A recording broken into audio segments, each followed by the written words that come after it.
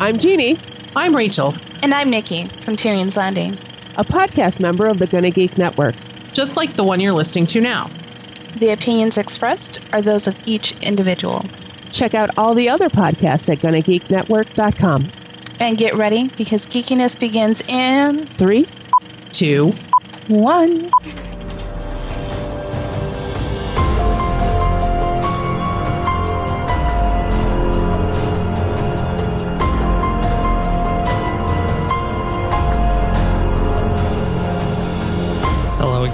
Josh here. I just wanted to start today with a quick preview of an episode we have in the works for comedy drama Lucifer. The episode will hopefully be done in the next few weeks. We've recorded about half of it. So the plan was to share just a little taste of what will be coming for Lucifer, as it's a campaign that just happened in mid 2018. Deadline.com, May 11th, 2018. Quote, Lucifer's Cinderella story has ended after three seasons, with Fox deciding not to renew the Tom Ellis starring series for a fourth. Unquote. Deadline.com, May 25th, 2018. Quote Fans outraged at the cancellation of Lucifer will get to dance with the devil one more time. Fox has a two hour bonus episode of the show titled Boo Normal and Once Upon a Time. Unquote. CNET.com, June 16, 2018. Quote Looks like the former King of Hell has his own guardian angel. Based on the DC Comics title, the TV series Lucifer has been saved from certain death by Netflix. Unquote. So, yes, Lucifans, congrats on the fourth season. That's a huge result. Hopefully, the fourth season maybe orients itself back a little bit more to the strength of season one and two.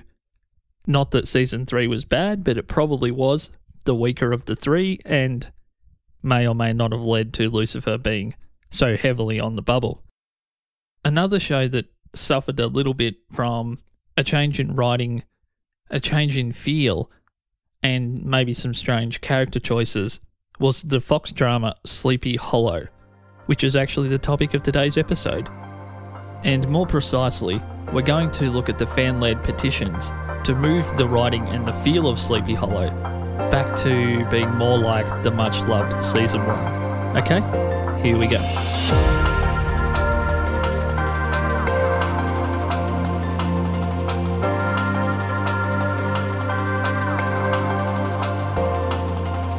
Sleepy Hollow Season 1 was much loved by fans. It was seen as a very different, very crazy, very funny show. But as you'll see throughout the comments that we've aggregated together today from fans, it felt as though the writers may have lost their way a little bit and therefore lost a portion of the fan base as well. So we'll move on now with a collection of different reviews and forum board comments that were either popular on the platform itself where they were posted and or they act as a nice summation of the general feel of the fan base about season 2 of Sleepy Hollow. So VH commenting on Spoiler TV, quote, Sleepy Hollow is smart, well written, and a well acted show that is entertaining, exciting, and emotionally affecting. Unquote. So that's a pretty positive comment. The next one also from Spoiler TV, this time from JW. Quote Sleepy Hollow is a great show with a cast that has great chemistry. Reverting back to what worked in season one will bring fans back. The last episodes and upcoming ones prove that. Unquote. So we'll move next to RJR, who commented on Rotten Tomatoes. Quote Thanks so much, Fox. Just thank you so much for interfering with a once bonkers show by turning it into boring, formulaic stuff. An absolutely poor decision on your end, and this season, which held great promise, turned into a snooze fest on most of its episodes. Because when it was great, it was spectacular and hilarious. When it wasn't, it was below average. Not even sure we're getting a third season to correct this, because that last episode sure felt like a goodbye. A damn fine goodbye at that. Oh well, still hoping for a second chance. Unquote. So, scathing there from RJR. So, next we'll go to the iTunes US store This review was from By a Prayer. Sleepy Hollow Season 2 was, quote, all over the place, unquote. So, not particularly positive, but if we dig around a little bit in there for something positive, obviously using the phrase all over the place means ideally it moved from quite bad to possibly quite good, which also points back to the RJR comment from Rotten Tomatoes. Maybe there were some small positives in season two of Sleepy Hollow. So we'll stay with the iTunes US store. This time, my name here. They said, quote, love the first season and a half, but not buying the sudden change of tempo of the way the characters are getting altered, unquote.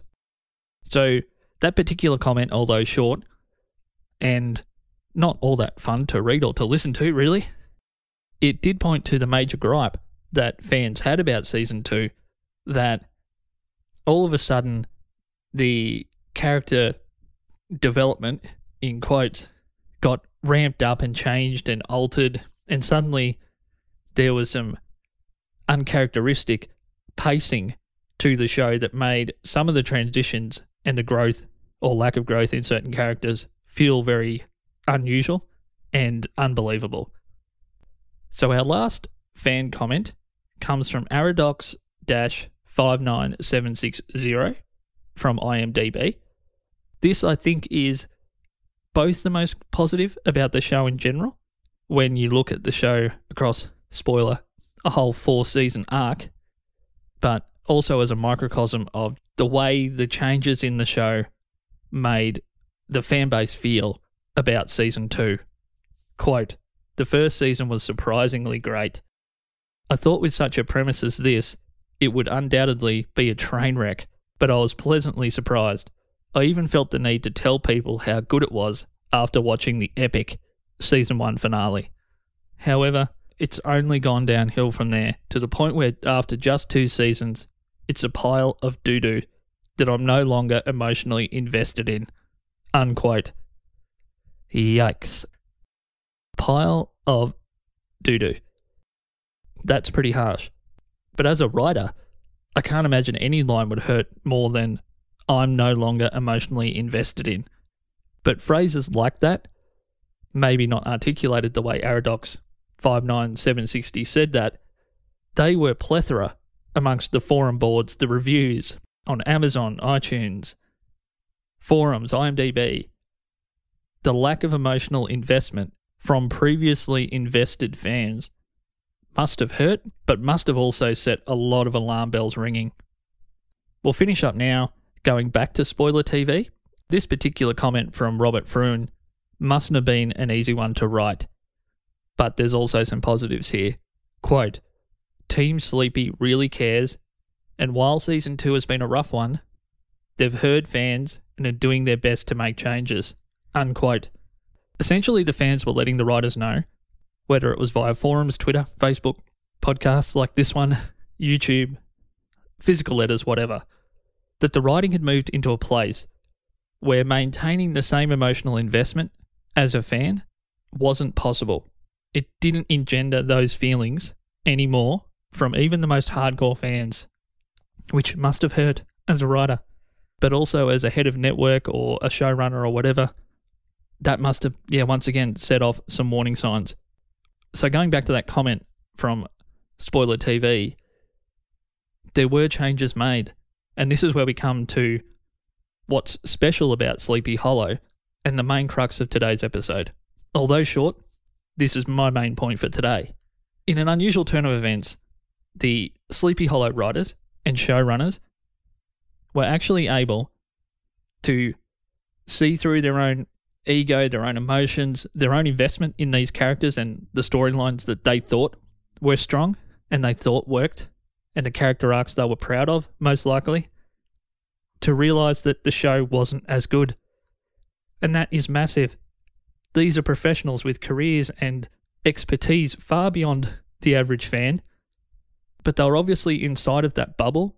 So maybe it was a lack of contact with fans or or maybe as a group they misjudged just how strong the first season was and they thought they still had room to improve when fans already believed they were onto something special. Think the first season of Battlestar Galactica which, in my opinion, other than Firefly, is the greatest single season of a show ever, to not realize that our fans are already in this. We don't need to throw 20 curveballs at them to get them on board. They're here with us. And the writers actually took that on the chin, and the showrunners executed a really strong finale for season two, pretty much out of nowhere. And we got a great season three, and we got a strong season four. And this is off the back of a really weak season. So they did what much better shows, once again Battlestar, failed to do. They recaptured some of the magic that made their season one so special and reinfused that into season three and four of the show. Certainly not an easy thing to do. I'll wind up by saying this before I get too far off track. If you had have told me a show could go from a fantastic season one to the doldrums in season two, resurrect itself into a great season three, and in a really satisfying season four that ties up a lot of loose ends, I would have said it's not possible. If the reimagined Battlestar Galactica couldn't even do that, one of the most well written shows ever in the early stages of its development, no average show could do that. And Sleepy Hollow, to their credit, they managed to do it.